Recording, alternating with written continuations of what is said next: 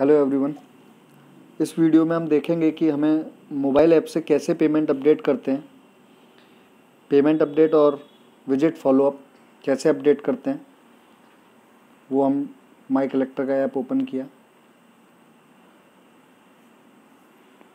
यहाँ से हमने कोई भी एक लोन डिटेल पेज ओपन किया, कोई भी एक लोन नंबर पे, मान लीजिए लोन है लोन पेज है, इस कस्टमर से हमने पेमेंट कलेक्ट किया।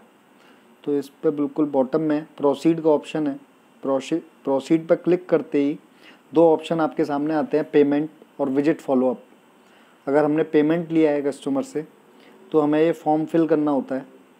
तो पेमेंट लेने के बाद सबसे पहले पूछता है प्लेस कॉन्टेक्टेड आप कस्टमर से कहाँ मिले?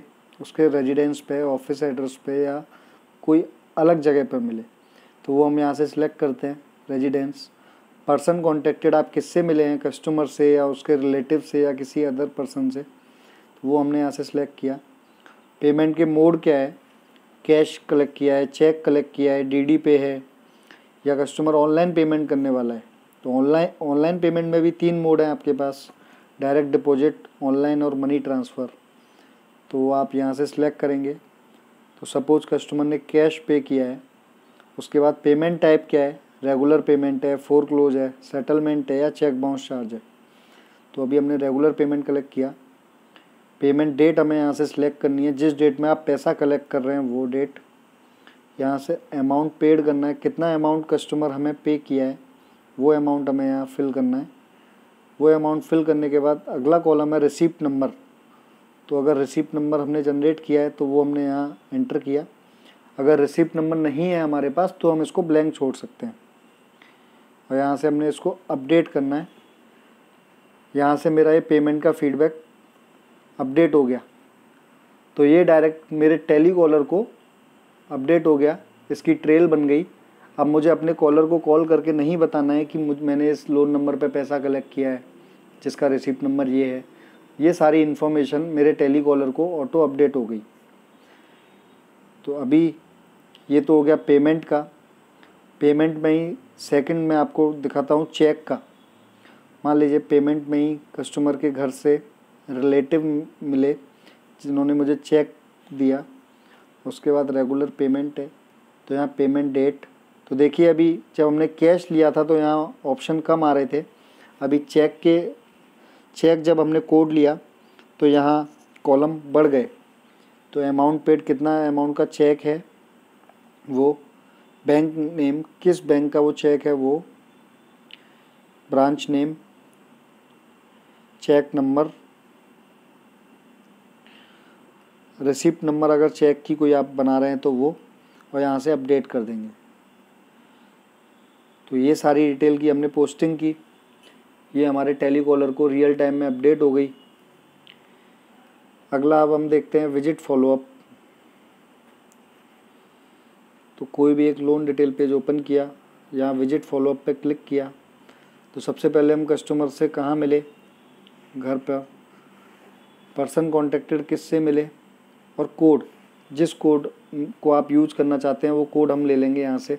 अगर कस्टमर आपको पीटीपी दे रहा है तो पीटीपी डीटी एक पीटीपी ब्रेक होने के बाद अगर कोई दूसरी डेट दे रहा है कस्टमर आपको तो पीटीपी वन अगर आप उसके लिए मैसेज छोड़ के आए हैं तो मैसेज कॉल बैक करने के लिए अगर कस्टमर आपको बोला है तो सीबी अगर कस्टमर नॉट कॉन्टेक्टेबल है तो एनसीटी अगला कोड है D I S P it means dispute है तो डी आई एस पी अगर कस्टमर पेमेंट करने से मना कर रहा है not interested to pay N I T P customer कहीं बाहर गया हुआ है आउट स्टेशन कस्टमर शिफ्ट कर गया है तो शिफ्टेड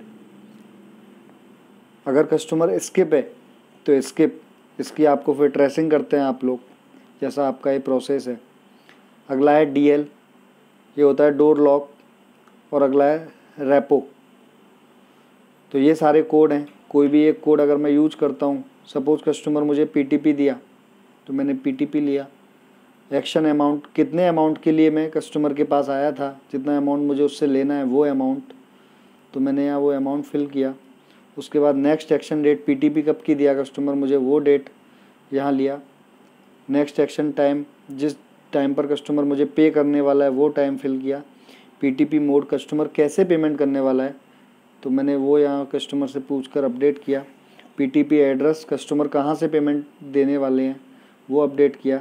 उसका अगर लैंडमार्क कुछ हमें फिल करना है तो वो कस्टमर अगर कोई अपना नया नंबर दे रहे हैं तो वो यहाँ डाल सकते हैं। नया एड्रेस दे रहे हैं तो यहाँ डाल सकते हैं और अपडेट कर देंगे। तो यहाँ से अपडेट करते ही मैंने अभी सत्ताईस तारीख की पीटीपी ली है। तो जैसे ही सत्ताईस तारीख को मैं अपनी ऐप पर लॉगिन करूँगा तो मुझे भी वो पीटीपी अपडेट हो जाएगी।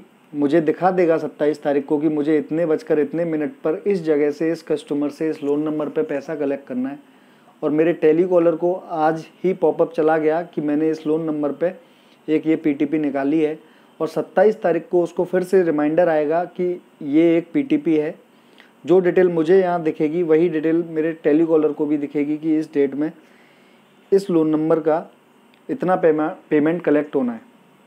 तो ऐसे हम यहाँ से कोई भी एक दूसरा कोड लेके और दिखा देता हूँ आपको विज़िट फॉलोअप में। कोड हमने लिया इस बार शिफ्टेड तो यहाँ से विज़िट फॉलोअप में कस्टमर के घर गए कस्टमर नहीं मिला, कोई अदर पर्सन मिला। कोड लिया हमने शिफ्टेड तो यहाँ पूछ रहा है नेक्स्ट एक्शन डेट तो अब हमें पता ही नहीं है, जब वो शिफ्टेड है तो हो हम इसको ब्लैंक भी छोड़ सकते हैं।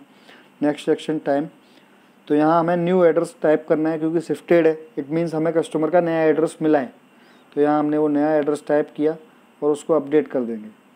तो ये हमारे सिस्टम में अपडेट हो जाएगा, उसका नया एड्रेस आपके कॉलर्स को पता लग जाएगा, आपके सुपरवाइज़र को पता लग जाएगा। तो ऐसे करके हमें फॉलो अप के सारे कोड थे जो मैंने आपको अभी दिखाए।